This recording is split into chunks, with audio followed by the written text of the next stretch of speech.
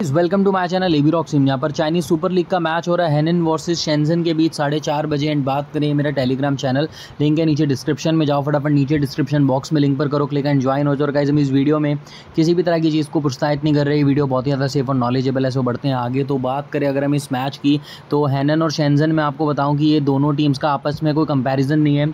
चक्कर ये है कि last season Shenzhen team Chinese super league में ना खेलकर चाइनीज़ लीग वन में थी, और हैनन टीम टॉप टेन में बैठी टीम थी पिछले साल। तो मेरे हिसाब से ये मैच हैनन के अंडर आना चाहिए, लेकिन शैनसन की दाद देनी पड़ेगी। लीग वन के अंदर भाई इन्होंने इवन अगर दस मैच खेले हैं तो उनमें से नौ जीते हैं। मतलब इतना अच्छा रिकॉर्ड है इस टीम का। Ninety percent of the winning करके ये टीम यहाँ पर आई है दोबारा।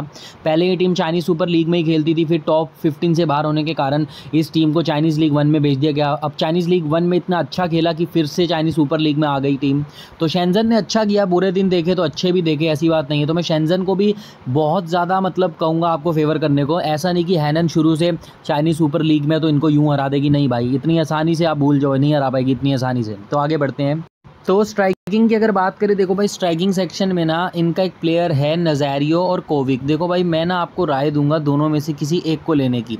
क्योंकि देखो ना बी नज़ारियो अगर आप लोगे, फिर आपका ये छूट जाएगा कोविक। हाँ सिर्फ़ आप एक काम कर सकते हो। अगर आपने इन दोनों को लेना है, फिर आपको शेंजन का सिर्फ़ एक स्ट्राइकर से काम चलाना पड़ेगा लेकिन उनके दो आपको मिडफील्डर हंड्रेड उठाने पड़ेंगे। अब वो कौन है, किसको उठाना है, वो तो मैं आपकी मदद कर दूँगा। अभी आप नज़ारियो को लो। नज़ारियो के बाद इनका एक प्लेयर है चिसोम करके प्लेयर था इनका।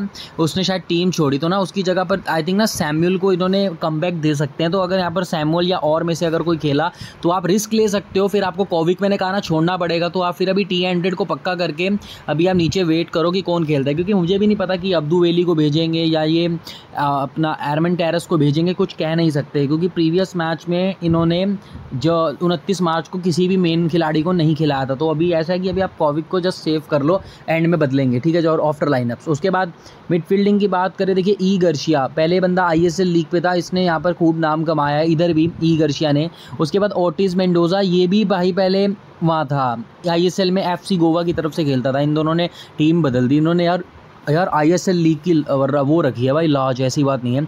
इंडियन सुपर लीग को जो लोग हल्के में लेते हैं ना, उनको पता चल गया होगा कि ये प्लेयर चाइनीज़ लीग में भी जो इतना अच्छा प्रदर्शन कर रहे हैं, वो किसी भी टीम में चल सकते हैं।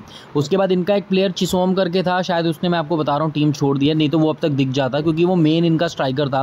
तो उसकी जगह पर कोई इनका स्वैप आएगा, कोई शेंजन का कोई रिप्लेसमेंट आएगा। देखते हैं क्या करती है शेंजन टीम किसको बेचती है।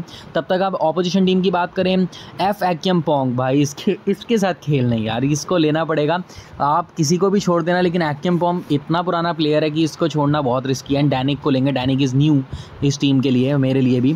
उसके बाद डिफेंडिंग की बात करें तो जेड वी जेड वी के बाद अपोजिशन टीम का आई आई मध्याना। उसके बाद इनका एक प्लेयर है डी आर डुबैलिक उसके बाद रूई को मैं चाहता तो ले सकता था, लेकिन मुझे ये छोड़ना पड़ेगा और मैं मैदाना को छोड़ना नहीं चाहता।